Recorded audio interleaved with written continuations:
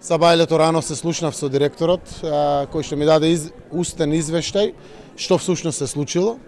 Се случило од господинот Ристовски со незгодни зборови и провокација, која што предизвикала ваков инцидент, кој што апсолутно го усудувам, без разлика кој провоцирал, кој како постапил или слично. Секако деталното образложение кое што беше дадено, јас го сваќам и верувам дека истрагата ќе ги покаже сите детали, но во името на одговорноста не можам да прифатам дека директорот на затворот и луѓето кои што биле таму определени да се грижат за безбедноста додека трае терминот за прошетка по самиот затвор за самите притворени лица, да се случи истовремено уште еден настан за после 45 минути или саат време. Тоа во најмала рака кажува без разлика дали имало провокација или не, некој не си ја завршил својата работа.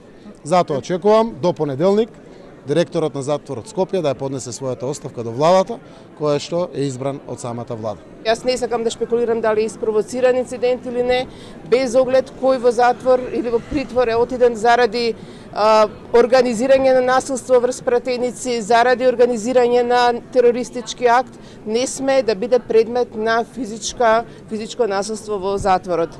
Значи, државата мора да обезбеди заштита на човековите права на сите без оглед за какво кривично дело се наоѓаат во притвор.